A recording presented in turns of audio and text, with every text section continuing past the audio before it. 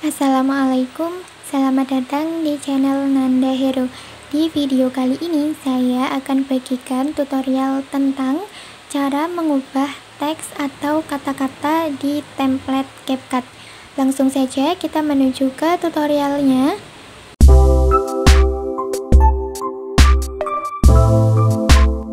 Oke, di sini silakan teman-teman itu buka aplikasi CapCut Lalu di bagian menu yang bawah silakan pilih template. Nah, di bagian sini silakan teman-teman itu cari video template yang ada teksnya atau kata-katanya. Biasanya itu ada di bagian status ini.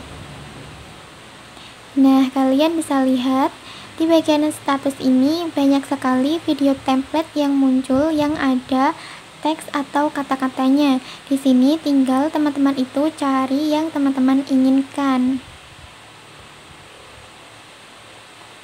Misalnya ini.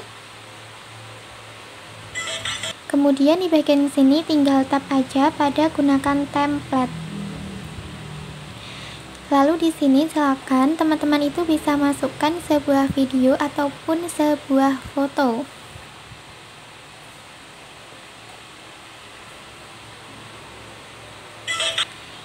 Nah, kemudian jika sudah seperti ini, di sini itu silakan perhatikan pada ini tulisan video dan teks. Silakan tap pada teksnya. Nah, jika muncul seperti ini, maka teks atau kata-katanya itu bisa diubah. Silakan tap aja seperti ini. Kemudian di sini jika ingin diubah, silakan hapus teksnya. Kemudian di sini tinggal masukkan teks baru sesuai yang teman-teman inginkan.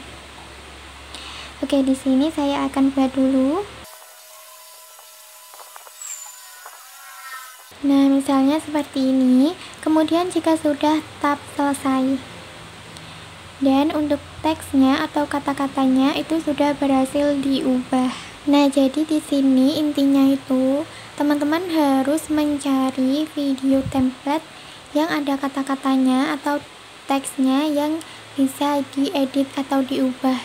Apabila teksnya itu tidak tertera di sini dan tidak bisa diedit, maka silakan teman-teman itu cari saja video template yang lainnya. Di sini tinggal ekspor atau simpan di proyek Nah oke okay, jadi seperti itu untuk video kali ini. Demikian video tutorial kali ini tentang cara mengubah teks atau kata-kata di template CapCut. Semoga bermanfaat.